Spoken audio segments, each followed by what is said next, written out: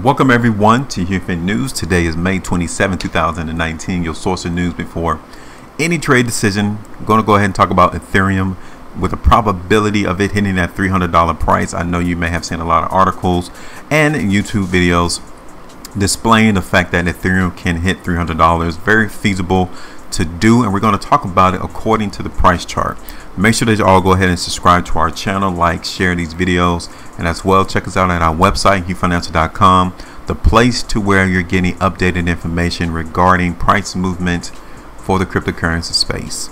So now, monthly chart for Ethereum. You can obviously tell that the current month in Ethereum is continuing to show us a euphoric movement higher in price. Looking at it on a weekly time frame real quick, uh, the market in Ethereum took a break last week. Uh, you can see that it tried to break down to the downside from that increased volume that came in during the week of the 13th of May.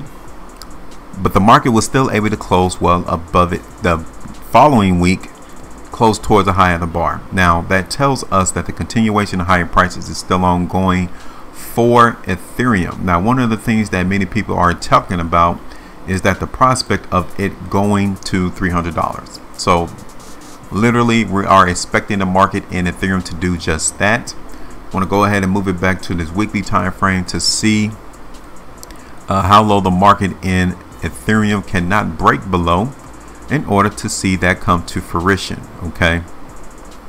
So right here around 240 is where we're going to keep our loss ratio for the simulated trade in Ethereum. And we're looking at $300 for the market to try to come in touch right?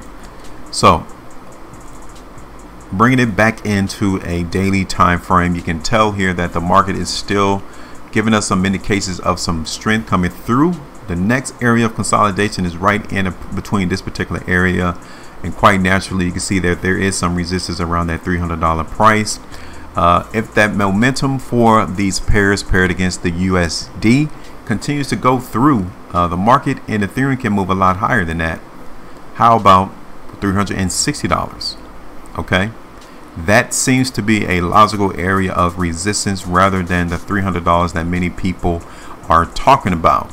But until then, we're going to utilize our simulated profit table what we expect the market in Ethereum to do uh, it is maintaining a lot of this consolidation of trading. It has held support at $240 for numerous days. And now the next support area is going to be 260 in order for this market to continue to see higher prices. That's what we're anticipating. We're still seeing indications of Ethereum trying to move higher to the upside. Uh, we need to see a massive push to go bar in the space in order to see Ethereum hit that $300 price. So as long as this market does not break below $240, it is anticipated, it is our forecast to see Ethereum to continue to move to the upside. Now, we said that 300 all the way back up towards 360 is logical as to how high the market in Ethereum can go.